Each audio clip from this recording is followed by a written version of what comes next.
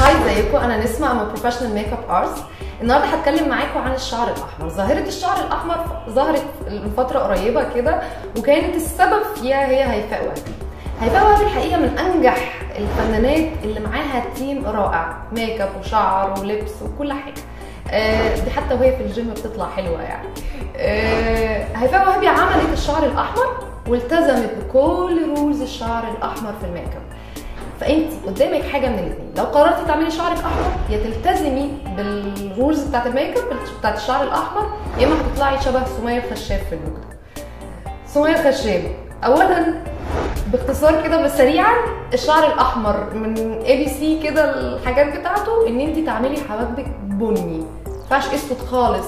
وأي makeup artist حتى لو أنت عاملة تاتو أي makeup artist شوية شاطر هيقدر يعمل لك حواجبك حتى لو هي معمولة تاتو أسود يقدر يعملها لك بني برضه تطلع في الصور وفي التلفزيونات وكل حاجة بني وزي الفل ما فيهاش مشكلة.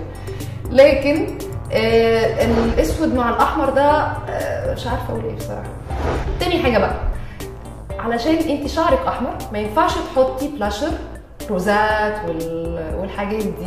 You have to be natural. يعني لازم يكون برونز أو درجات البرونز بقى حسب درجة بشرتك سواء الغامق الفاتح الحاجات دي.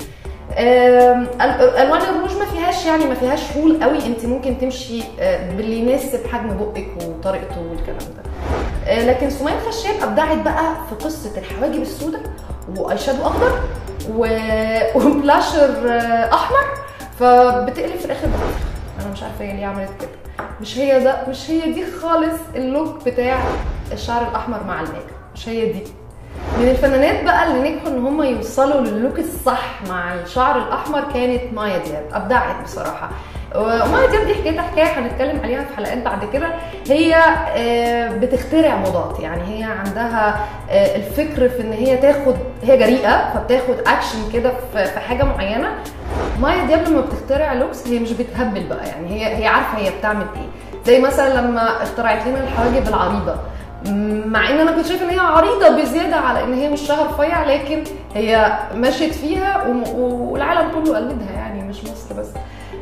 بس برافو أنا بحب ال team اللي معاها وإن هي ذكية في إن هي بتختار ال looks بتاعتها. الشعر الأحمر ده هي ما قعدتش بيه كتير هو غالبا كان photo session لحاجه لكن لو بصينا هنلاقي إن الروج natural جدا بيجات يعني. ال bronzage هنا البلاشر برونز. طبعا العينين والحاجات دي. الحواجب أهم حاجة الحواجب بني شكرا. هو ده الميك أب الصح. سمية الخشاب مش هو مش هي دي خالص الطريقة اللي تعملي بيها ميك أب على شعر أحمر. هو انت حاجة من الاثنين يا إما آه لو انت حواجبك سودة عاملاها تاتو وانت ما عندكيش القدرة أو ما عندكيش makeup artist يغيرها لك لونها فانت ما تعمليش شعرك أحمر. piece of cake يعني سهلة. يا تعملي شعرك أحمر يا ما تغيريش حواجبك.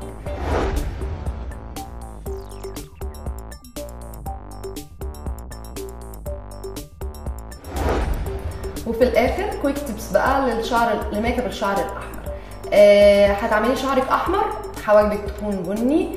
آه مفيش خالص بلاشر روزات والحاجات دي. You have to be very natural في موضوع البلاشر. آه الروجات أنا مش فارق معايا بصراحة لون الروج إيه يعني طالما انت هتعرفي هيليق على لون بشرتك وعلى وعلى لون شعرك والكلام ده. نصيحة بقى لسمية الخشاب اختاري ناس صح اصرفي شوية. يعني لما شفنا ال look بتاعك لما طلعتي لبنان في برنامج أنا انبهرت. يعني ميك اب تحفة شعر تحفة foundation مظبوط.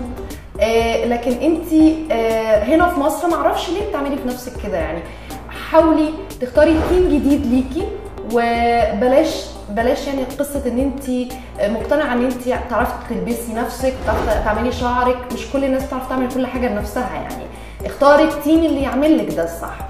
آه ومش هي دي.